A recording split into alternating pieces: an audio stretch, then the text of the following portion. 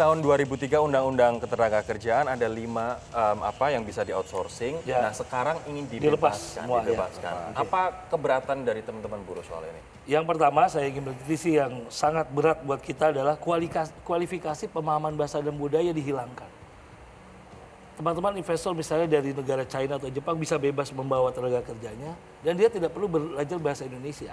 Dengan tidak adanya aturan omnibus law ini saja, saya dua tahun yang lalu pernah menemukan di daerah Banten itu ada satu perusahaan yang tidak berbahasa Indonesia. Tapi pekerja asing 0,08 persen dari seluruh angkatan kerja kita. Faktualnya tidak, kan banyak digerebek. Mainaker tahun lalu Pak Hanif Dakiri berkali-kali menggerebek dan menemukan jumlah tenaga kerja asing yang melebihi dari kuota.